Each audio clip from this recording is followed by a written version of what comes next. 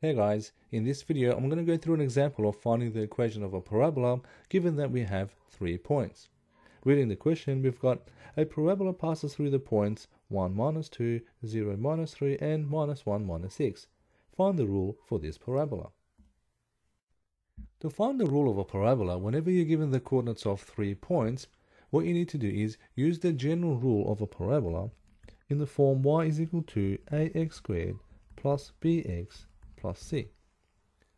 To find the values of a, b, and c, we need to use the three coordinates given, sub it into the general rule to obtain three equations in terms of a, b, and c, and then solve simultaneously. And so looking at the first coordinate, 1 minus 2, this means that when x is equal to 1, y is equal to minus 2. And so if we let x is equal to 1 and y is equal to minus 2, subbing into the general rule, we're going to get minus 2 is equal to a times 1 squared plus b times 1 plus c. Cleaning this up, this is going to be minus 2 is equal to a plus b plus c. And so this is going to be our first equation in terms of a, b, and c. Looking at the second coordinate, this is 0 minus 3.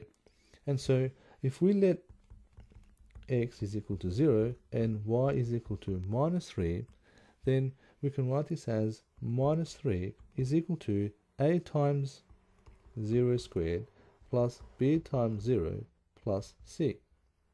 a times 0 squared is 0, b times 0 is 0, and so this means that minus 3 is going to equal c. And so this is going to be our second equation. And looking at the third coordinate, this is minus 1 minus 6. And so if we let x is equal to minus 1, y is going to be minus 6.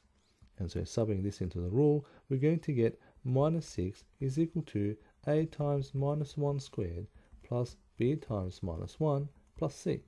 Cleaning this up, minus 6 is going to equal minus 1 squared is this positive 1, and so this will be a, and then minus b, and then plus c.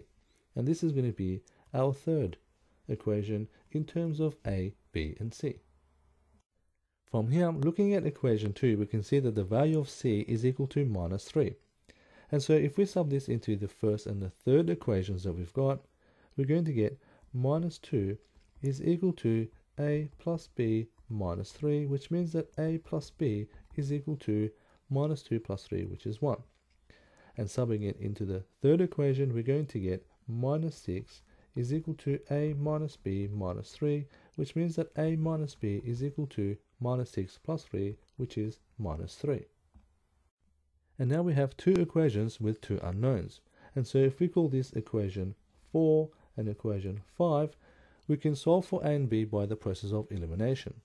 And so if we say equation 4 minus equation 5, we're going to get a minus a, which is 0, and then b minus minus b.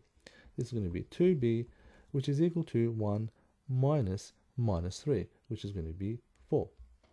And so solving for b, this is going to be 2. And now subbing this into the fourth equation, we can solve for the value of a. And so a plus 2 is equal to 1, which means the value of a is equal to minus 1.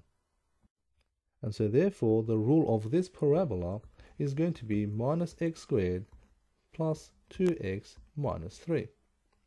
And that's it for this question. Hope you found this video helpful, and if you did, hit the like button or comment below and let me know. Good luck, and I'll see you guys in the next video.